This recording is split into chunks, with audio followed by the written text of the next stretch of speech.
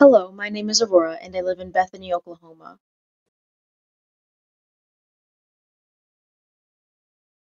I'm so incredibly happy and grateful to have won this scholarship. It will help me greatly in affording room and board at Southeastern Oklahoma State University.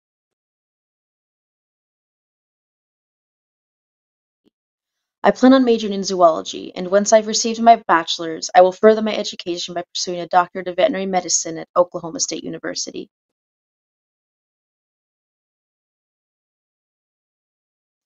My advice to other students hoping to receive scholarships is to do all that they can to show that the money they may earn may, will not go to waste.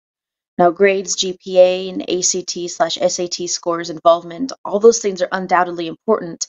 However, showing that you take your education very seriously and that the money you earn will be put to good use with long lasting and positive outcomes can make or break your chances.